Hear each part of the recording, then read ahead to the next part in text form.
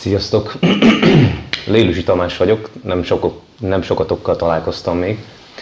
E, egész véletlenül csöppentem ide, mert hogy egy pár héttel ezelőtt megkerestem a szünyimet, hogy e, annyira szeretném, hogyha a dojo e, tartatnám a csikungot péntekenként, e, hogy nagyon, amire azt mondta a szünyim, hogy oké, okay, rendben van. Aztán arra is kértem, hogy hadd kérjek már öt napot, hogy valahol egy elvonulást tudjak csinálni, ahol a csikungjaimat tudom gyakorolni. És azt mondta, hogy oké, okay, de akkor kössünk üzletet, és az első két nap idejövök a 30-31-ére, amikor ti a 8 vagy a 9. és 10. napot csináljátok az elvonulásnak, és akkor utána még három napot maradhatok. És és folytathatom a csikung gyakorlataimat, illetve hát elkezdhetem, mert most így nagyjából reggeltől estig ülni fogunk, úgyhogy a csikungokkal nem nagyon fogok tudni foglalkozni. Nem, mintha az ülő meditáció nem egy csikung lenne, ugye?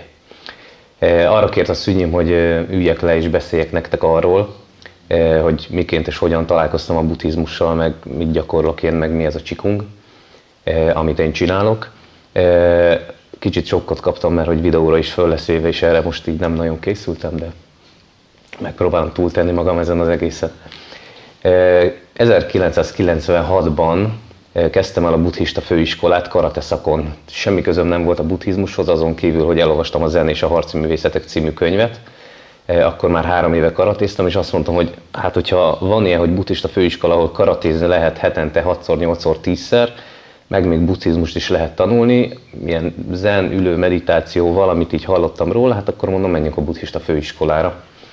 E, úgyhogy ott kezdődött ez a pályafutás, ez 18 évvel ezelőtt volt ez a történet. E, elvégeztem a buddhista főiskolát, megkaptam a, a Dharma tanítói e, képesítést, amit én azóta nem igazán használtam, egészen addig, amíg el nem kezdtem komolyabban foglalkozni a csikunggal, és akkor még nem tudtam, hogy majd így Dharma tanító válik belőlem. Nagyon ne vegyétek komolyan, tehát nem vagyok még Dharma tanító, csak van egy ilyen papírom róla. Először a buddhista főiskolán találkoztam a csikunggal 15 évvel ezelőtt, és azért kezdtem el csinálni, mert hogy a sokkarat edzéstől teljesen ki volt a térdem. Úgyhogy úgy voltam vele, hogy most már mindegy, bármit valamit csináljunk, úgyhogy elkezdtem minden nap csikungot gyakorolni, és nagyjából egy fél év alatt meggyógyult a térdem a csikung gyakorlástól. És mivel meggyógyult a térdem, akkor abba is hagytam a csikungot, mert úgy gondoltam, hogy hát ugye azért csikungozott az ember, hogy meggyógyítsa a térdet, akkor most már nem kell csikungozni, úgyhogy el is felejtkeztem róla egészen tíz évvel ezelőttig, amikor is belekezdtem egy vállalkozásba, ami elég sok stresszel járt, és azt gondoltam, hogy ha most nem kezdek el megint csikungozni, akkor lehet, hogy nagy bajba kerülök, mert túl sok a stressz, és bár a térdeim már nem fájtak, de úgy éreztem, hogy valamivel töltenie kell magát az embernek, meg a stresszt le kell vezetni, úgyhogy elkezdtem megint attól a magyar mestertől, akit Csárai Gábornak hívnak, tanulni a csikungot. És elég nagy szerencsém volt, mert hogy hat évvel ezelőtt találkoztam egy kínai mesterrel, akit Cang Sennek hívnak, és itt volt már elég régóta Magyarországon, viszont én abszolút nem hallottam róla, hogy ő ki, ő, mi, ő, mit csinál, hogy csinál. Elmentem egy edzésére, beléptem az edzésre, és azt éreztem, hogy így, így harapni lehet valahogy így a levegőt körülötte. A későbbekben kiderült, hogy ő Csikung Akadémiát végzett Kínában, Japánban gyógyított Csikung kórházban éveken keresztül, a rákos betegektől elkezdve mindenkit meggyógyított itt elég sokakat Magyarországon, Japánban, meg Kínában. Nyitva volt a harmadik szeme, úgyhogy látott mindent, és ezt egész sokszor bizonyította nekünk, mert hogy bárki belépett a terembe, azonnal mondta, hogy neki epeköve, biztos van.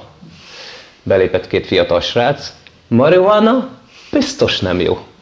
Belépett egy fiatal lány, lesz jó fiú, kell nyugi, és így mindenkinek mondta a problémáit, a betegségeit, a gondolatait, az érzelmeit, a stb. És bár a buddhista főiskolán rengeteget tanultunk arról, hogy vannak olyan emberek, akik így látnak az aurában, meg hogy érzik, meg látják a gondolatokat, stb. Ezt ilyen fantazmagóriának gondoltuk egy buddhista főiskola elvégzése után is, mert nem nagyon találkoztunk Magyarországon ilyen emberrel. És amikor találkozik az ember egy ilyen emberrel, akkor így csinál, hogy atya és megkérdeztem tőle, hogy így mit kell csinálni ahhoz, hogy így, hogy így valami történjen. És azt mondta, hogy kell gyakorol. Úgyhogy hat évvel ezelőttől kezdve az a jelszó, hogy kell gyakorol. A, a harcművészeti csikungtól a meditációs csikungig, a gyógyító csikungtól a mindenféle csikungig tanultam tőle, és mikor négy évvel ezelőtt visszament, nem? két évvel ezelőtt visszament Kínába, akkor azt mondta, hogy a csoportja egyik felét rám bízza, és nekem kell folytatnom a tanításukat.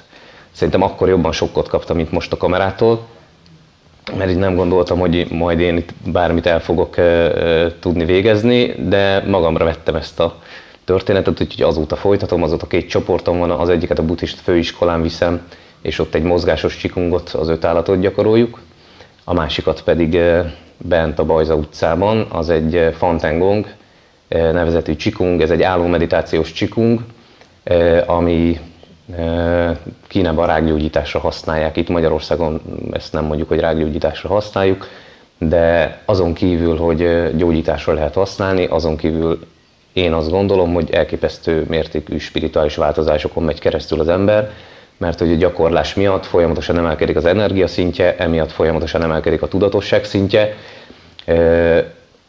Viszont, és akkor egyből át is kötöm a mondatomat ide, úgy éreztem, hogy elég sok mindent adok az embereknek, van, aki meggyógyítja magát a csikunggal, van, aki sokkal nyugodtabb lesz, van, aki sokkal jobb harcművész lesz, és többi, stb. Viszont azt éreztem, hogy valami olyat kell átadnom, ami, ami úgy az igazi átadás, úgyhogy nem csak azért kerestem meg a szűnyimet, hogy nála tudjak gyakorolni csikungot a dojójában, hanem azért is, hogy akkor most már végre elkezdhessünk, vagy elkezdhessek normálisan az zazen gyakorolni. Mert hogy ugyan a buddhista főiskolán is elég sokat ültünk, és azóta ismerjük egymást a szűnyimmel, mert hogy hozzá is kellett elvonulásokra járni, amit így fogcsikorgatva valahogy kibírtunk, de igazából így a 18-20 éves fejjel ez egyáltalán nem volt semmilyen foganatja azon kívül, hogy mindenünk fájt. Most már talán kicsit másképp élem meg ezt az egész történetet. A zen és a csikunk kapcsolata. Hát alapvetően nagyon röviden talán a Fantengongon keresztül mutatnám be az az a csikung, amit a dojo-ban gyakorlunk. Állommeditációs csikung, és van egy törzs része, ami 1-től 10-ig terjedő gyakorlatsort tartalmaz. A különböző tantienekkel szembe tartjuk a kezeinket, alsó, középső és felső tantien, illetve azok az akupunktúrás pontokat, használjuk, amik nagyon fontosak ahhoz, hogy tiszták legyenek az emberek meridiánjai, emiatt az egészséget el lehet érni egy bizonyos szintig, és utána, hogyha az ember elérte az egészséget, akkor utána kezdhet emelkedni a spirituális régiókba. Tartozik hozzá energetikai mosás, ami egy vizualizációs technika, tartozik hozzá egy csakratisztítás, Szóval azokat a mellékcsakrákat és csakrákat használjuk, amiket ki kell tisztítani ahhoz, hogy normálisan működjön a, a dolog. Miután az ember megcsinálta az energetikai mosást, megcsinálta a csakratisztítást, megcsinálta az 1-től 10 gyakorlatsorig terjedő történetet, akkor utána lehet leülni az ülő meditációba. Alapvetően semmi különbség nincs a fantengongos ülőmeditáció és az azenes ülőmeditáció között. Ugye az ember ehhez hasonló a kéztartás. A fontengongba leengedjük a két ujjat a két középső ujjunkra, a két hüvelykujjat a két, két középső ujjra, és egy üresség meditáció van alapvetően. És hogy mi a kapcsolata az zazen és a, a között, nem tudom. Nagyszerű, ha erről még beszélnél. Igen, már is összeszedem a gondolataimat, hogy mi is lehet a kapcsolata a Fontengong és a Zazen között, e, vagy mondjuk a Csikung és a, a, a Zazen között. E, alapvetően, e, amikor ülőmeditációról van szó és Csikungról van szó, akkor több dolgot csináltunk, például csináltunk semmit, azaz van egy üresség meditáció, amikor tudjuk, hogy nem semmit csinálunk, de mondjuk lélegzünk, meg van egy testtartásunk ahhoz, hogy ezt a légzést helyesen tudjuk csinálni, meg a testtartást tudjuk tartani megfelelő időn keresztül, ehhez, hogyha az ember csikungozik, akkor sokkal felkészültebb, mind fizikailag, mert hogy nem fog annyira fájni a lába, mint amikor 20 évesen csinálja ezt a dolgot, és még nem csikungozik rendesen, illetve energetikailag is felkészíti magát az ember, mert hogy egyrészt nyitottak azok a meridiánok, amiken az energiának kell keringeni, illetve föl vannak töltődve azok a tantienek, amik segítségével ugye egyrészt van egy fizikai alapunk, van egy érzelmi alapunk, van, meg van egy mentális alapunk, Amikor az alsó tantiemben az energia megnőtt egy bizonyos szintre, akkor el tud kezdeni emelkedni a középső tantienhez. Amikor itt is megfelelő szinten van az energia, akkor tud fölmenni a felső tantienhez, ami a fej, és akkor utána később a bájhújon keresztül föl tud emelkedni ez, a, ez az energia. Ugye a gát és a fejtető között a középső meridián az, amin közlekedik ez az energia, és alapvetően a csikunk közben ezeket a tantieneket, meg ezeket a meridiánokat használjuk. Alapvetően lehet vizualizációs gyakorlatokat végezni csikunk közben.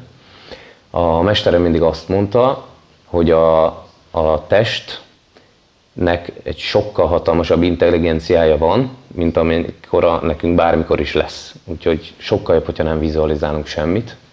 Mert hogyha vizualizálunk valamit, akkor mondjuk azt, amit mi el tudunk végezni, hogy mondjuk egy 3%, 5%, 10% lehet. Amit meg a testi intelligenciája el tud végezni, az meg 100% legyen, vagy 100% lehet.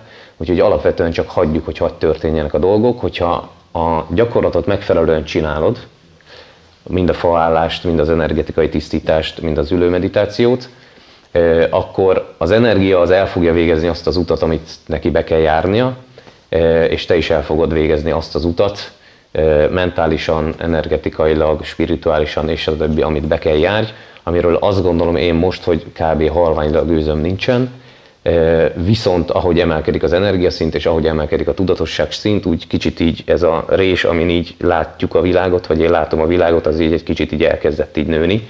De ahhoz, hogy mondjuk 360 fokba lássak, ahhoz még messze vagyok, úgyhogy kell gyakorol.